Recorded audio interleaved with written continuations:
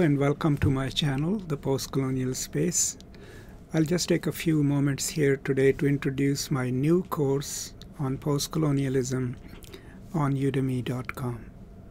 Now, don't worry, most of the materials on postcolonial studies will remain openly available on this channel, but I've just created this course with some exclusive material and basically, what is the organization of the course? It just introduces people to postcolonial studies and postcolonialism simply what it is, who are its major theorists, what are the major concepts in it, and then provides them some additional resources to learn the materials so that after they are done with the online course, they have a basic understanding of postcolonialism as a concept and postcolonial studies as a field of study.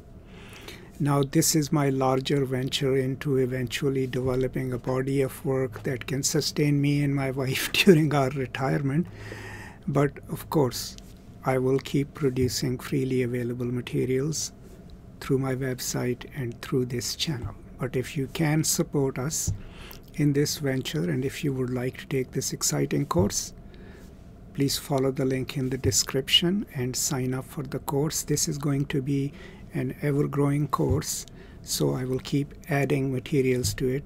Besides this, also note that I have two other courses on the same website, one on basic literary theory and one on postmodernism. Those two courses are also ever growing and I'll keep adding materials to that. So please go and check it out and let me know in the comment section what do you think? Thank you so much for your support and if you like my work and this channel, please do subscribe. Thank you, goodbye, and peace and love.